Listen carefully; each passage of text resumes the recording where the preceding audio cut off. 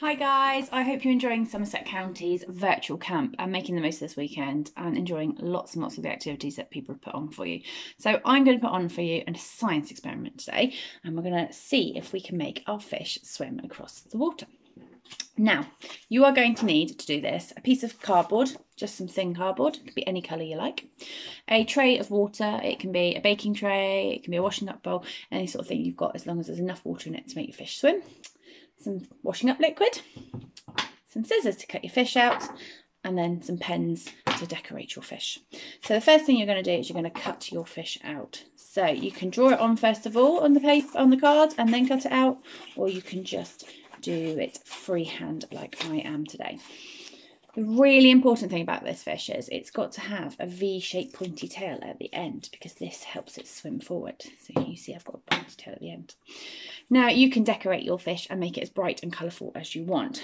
So this is one I coloured in earlier and I'm just going to give it a face so it knows which direction it's going because I don't want it swimming backwards. So just put its eye on and a little smiley face for my fish. Now, if I put this fish in the water now, it just wouldn't go anywhere. It would stay still. And eventually it would start to sink because it would get too heavy and filled with water. So our magic ingredient, our secret trick is the washing up liquid.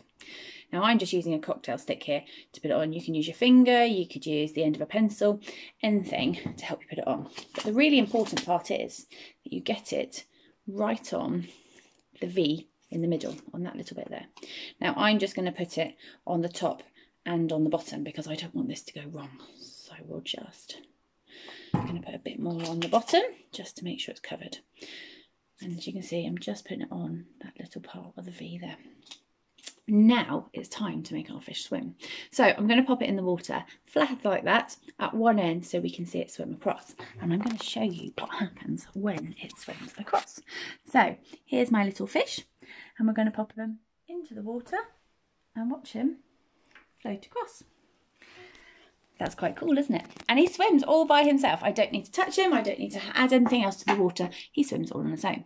Now, the science behind it. What makes our fish swim when normally it would just stay on the water flat? Well, the top of the water has effectively an invisible skin on it, and it's called water tension. That's what keeps it in place. That's what normally wouldn't allow it to float or to move anywhere. However, the washing liquid creates a sort of oily film. And the oily film, the oily soapy film, breaks that, that tension and allows it to push the water away, and the water tension away. So there you go. That's how you make your fish swim across the water.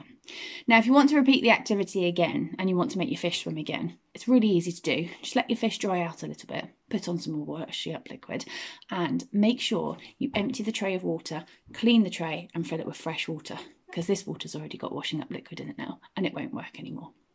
So I hope you enjoy trying out your science experiment. Give it a go, put on lots of photos, send us videos of you trying it at home so we can all see how you're getting on. And above all, have an amazing time this camp with your family and enjoy scouting from home. So take care, look after yourselves, and we'll see you again soon. Bye.